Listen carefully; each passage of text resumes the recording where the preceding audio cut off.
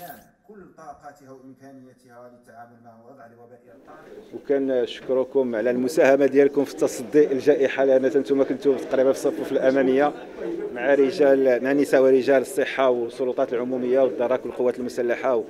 الحمد لله اللي خلات المغرب كيحصل على نتائج جد آه، طيبة وممتازة من الناحية الوبائية وكذلك حتى في التقدم الحاصل في الحملة الوطنية للتلقيح واليوم كتحضروا لواحد الجلسة اللي كانت بامتياز كتكلم على التلقيح وكتكلم على جواز التلقيح اللي هو في الحقيقة وسيلة اللي كتخلينا تاخذ درناها في الأجراء كذلك لمحاربة هذا الوباء. واليوم هو تحصيل حاصل لأنه أنتم كتشوفوا الأغلبية ديال المغاربة استفدوا من اللقاح.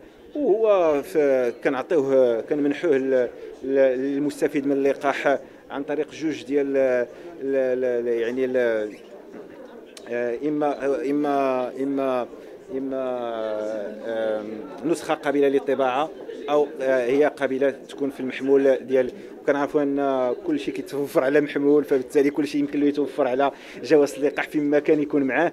فهي آه، يقدر هو داخل في السلوك الحضاري بغينا المعادلة اليوم صعيبة باش يمكن نحافظوا على الانتعاش الاقتصادي والاجتماعي والتعليم.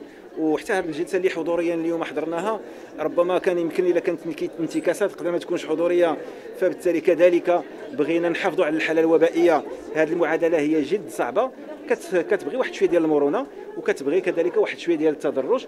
ولهذا كنقولوا بأن اليوم الجواز التلقيح يخلينا أن نعيشوا الاقتصاد في وكنحافظوا على على الأماكن اللي هي اللي كيرافقوها كيمشيو لها الزبناء باش ما يتخلقوش فيها بؤر وبائية ولا تكون مهنية أو تجارية هذا. وكذلك من ناحية أخرى كنحافظوا على كذلك البلاد باش ما يكونش وافد آه، فيروسي جديد اللي يخلق لنا انتكاسة ويخلق لنا عاوتاني تدهور.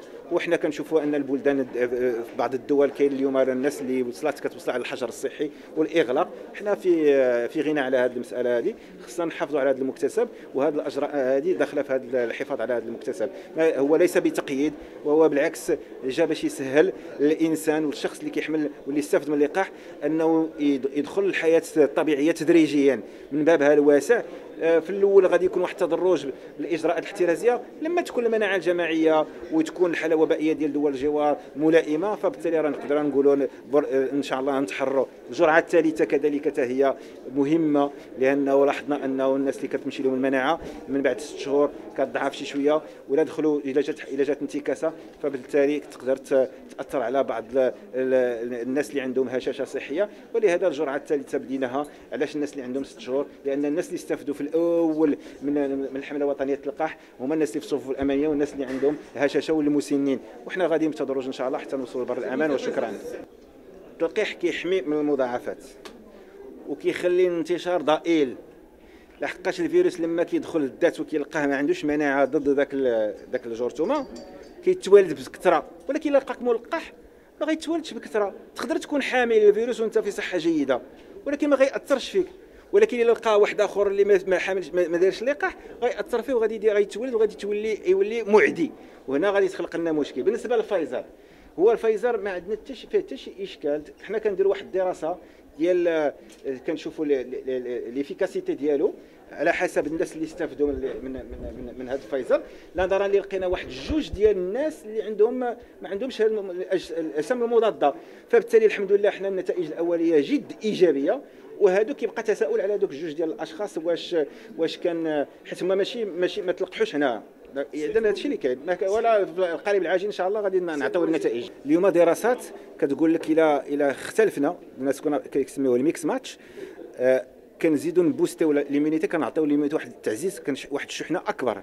فبالتالي راه خرجت توصية في هذا الإطار أن الناس اللي داروا أسترازينيكا ولا الناس اللي داروا سينوفارم كيمكن لهم في الجرعة الثالثة يعززوها إما بسينوفارم ولا بفايزر. على حسب علاش كنقولوا هاد الجوج؟ لأن هما اللي موجودين عندنا.